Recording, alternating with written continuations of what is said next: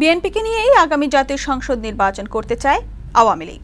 সকালে রাজধানীর মানিক মিয়া এভিনিউয়ে যানবাহনে তাৎক্ষণিক রেজিস্ট্রেশন কার্যক্রম পরিদর্শন শেষে কথা বলেন দলের সাধারণ সম্পাদক ওবায়দুল কাদের। এ সময় অংশগ্রহণমূলক নির্বাচনের মাধ্যমে জনগণের রায় নিয়ে আওয়ামী লীগ আবারও সরকার গঠন করতে চায় বলেও জানান তিনি। আমাদের নীতিটা হচ্ছে আমরা উইনেবল ক্যান্ডিডেটকে মনোনয়ন দেব। এখন অন্যান্য শরিকদের মধ্যে যদি প্রার্থী উইনেবল না হয়, তাহলে সে অবস্থা আমরা তো প্রতিদ্বন্দ্বিতা হেরে যাব। ইনক্লুসিভ ইলেকশন হোক এটা আমরা চাই। যে বিএনপি একটা বড় দল, তাদেরকে বাদ দিয়ে ইলেকশন করব, ফাঁকা মাঠে গোল দেব, এরকম কোনো চিন্তা আমাদের নেই।